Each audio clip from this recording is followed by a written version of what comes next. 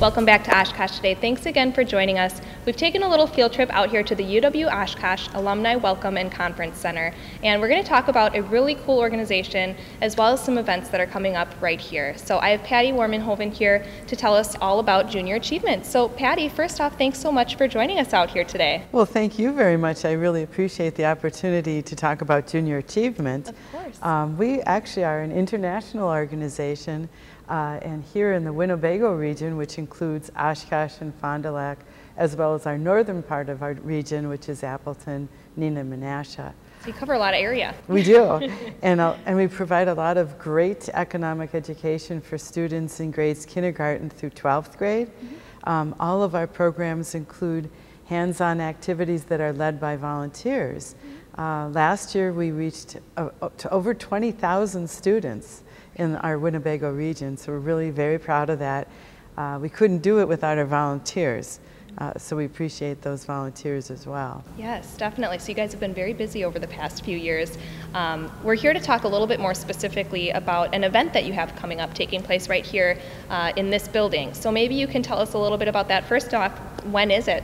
It's November the 12th. Okay. Um, we actually are inviting our high school age girls to come uh, we're kicking off in a new initiative that is really geared towards educating high school girls to consider entrepreneurship and also to consider non-traditional occupations for women.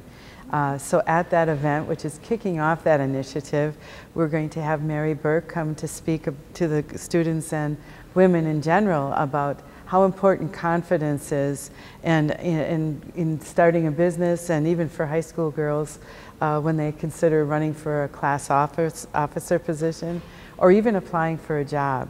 Uh, our other speaker for that event is Lisa Maurer.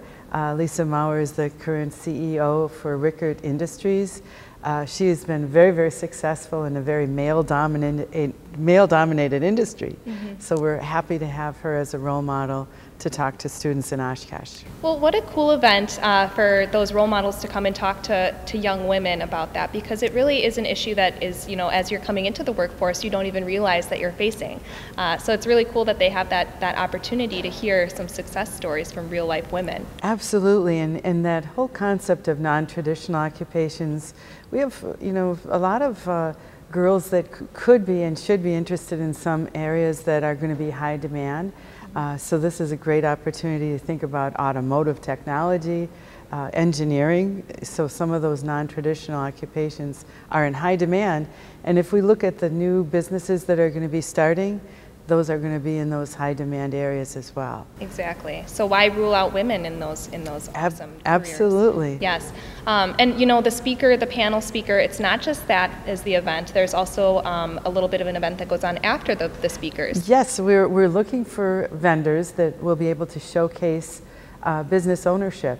So we're going to have some opportunities for attendees to shop uh, after the, the presentation, uh, which actually is after the parade. Uh, I, I, believe we're going to have a holiday parade that yes. night.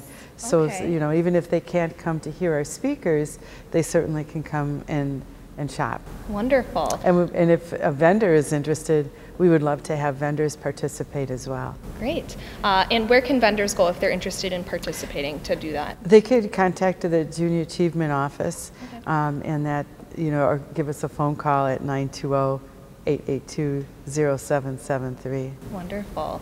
Um, and what's the registration? I know it's encouraged that people register, um, yes. and then there's a little bit of a fee that's associated with that. Yes, adults are $10 um, and high school students are 5 uh, we're actually encouraging high school students to come with their mothers. Hmm. It's a great opportunity to start conversations about careers.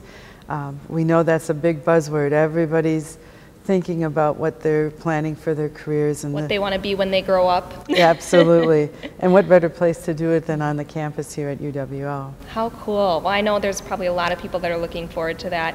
Um, if they want more information on that event, where can they go? They could go to um, our Facebook page Otherwise, they can certainly give us a call. Wonderful. So November 12th, that event will be happening. There's also a, a week uh, shortly after that that we're looking forward to as well. Tell us about that. Yes, it's actually Junior Achievement Entrepreneurship Week. And uh, we are uh, looking to promote entrepreneurship in general. um, and provide some special activities in classrooms with that in mind. Very cool. So, kind of just creating awareness in that aspect for the, the Awareness Week. Absolutely. And you know, once again, we're always looking for volunteers and obviously funding, so we appreciate that as well. Wonderful. Well, lots to look forward to, a lot of great messages that you're putting out there with Junior Achievement. Uh, maybe once more you can recap those events for us, the dates, times. cost. Sure.